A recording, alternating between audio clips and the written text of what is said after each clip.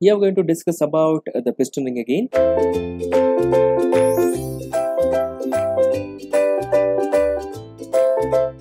The piston groove is a recessed area located around the perimeter of a piston that is used to retain the piston ring.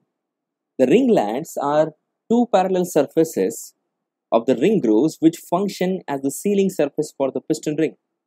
A piston ring is an expandable split ring used to provide a seal between the piston and the cylinder wall.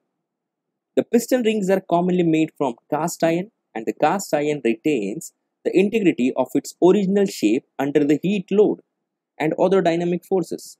That is why we use cast iron. Now the piston ring seals of the combustion chamber conduct heat from the piston to the cylinder wall and return oil to the crankcase. The piston ring size and configuration varies depending on an engine design and the cylinder material.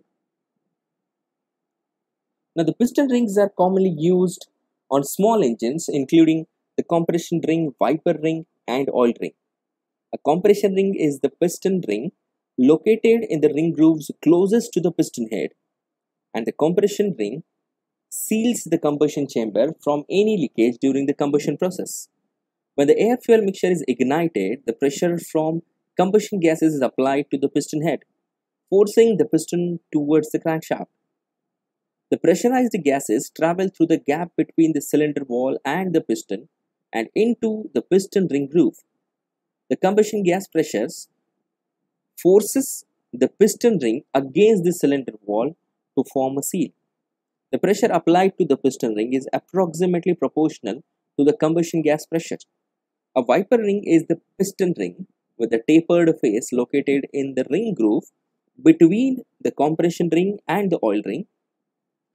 The wiper ring is also used to further seal the combustion chamber and to wipe the cylinder wall clean of excess oil.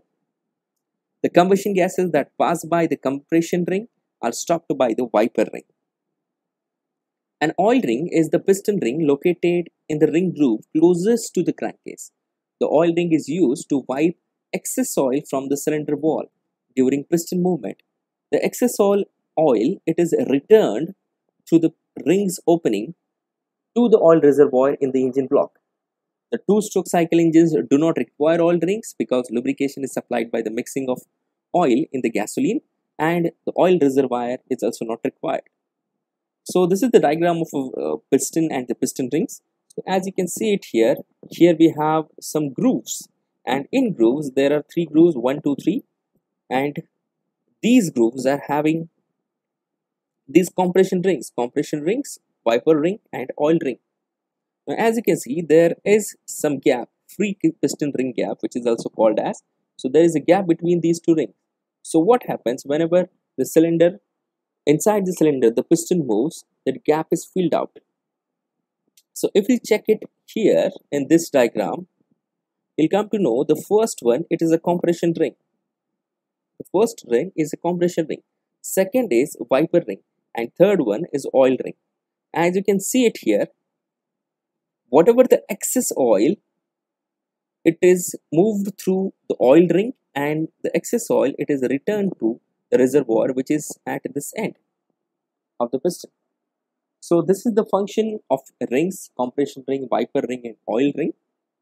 And this one is the piston window that we have it. So this was regarding their functions of piston rings, compression ring, wiper ring and oil ring.